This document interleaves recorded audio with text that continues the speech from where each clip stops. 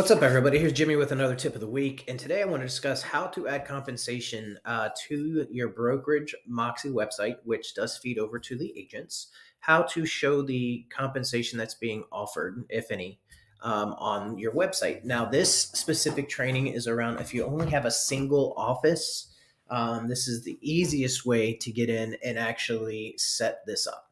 So, what you want to do is go to any of your MoxiWorks pages. In this case, I'm on my account page here. And what I want to do is I want to scroll down here on the left where it says management tools. And then I want to go down here to where it says office listings. When I click on that, you can see that there's some options for either searching listings, active and pending. So if you wanted to, you can search specifically for the listing that you're trying to upload the compensation for. Or if you have multiples you need to do, you can click on active and pending, and then you will actually pull up all the properties that are active and pending um, on on the Moxi website. Now, there's a few things to ensure to make sure that um, for these listings to come through. One, once it goes live in MLS, it will hit this system. So you do have to wait for it to hit the Moxi system before you're going to see it populate on this page. Second thing, the only people that have access to this right now are only admin or above in Dash. So you have to have the correct security settings in Dash to be able to access these listings and do what you need to do um, on this standpoint. Okay. Now, once you have figured out what that is going to look like and you have access to this, what you're going to want to do is you just want to basically find the property that you're looking for. Again, these are all the listings for um, for my office. And so what I can do is when I come to find the listing that I'm working on, I can just hit this little pencil here to actually edit the listing.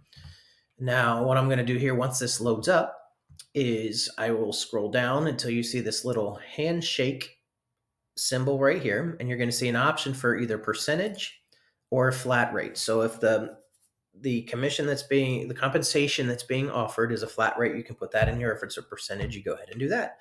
Type in here the percentage or amount that you need and hit save. Now, one thing you will notice with this is it does take at least 60 minutes before it's going to actually upload into um, your Moxi website. So make sure you go back and validate that that has been done correctly and just take a look at it. Now, what I will also do real quick is just show you what it looks like. So here's that property.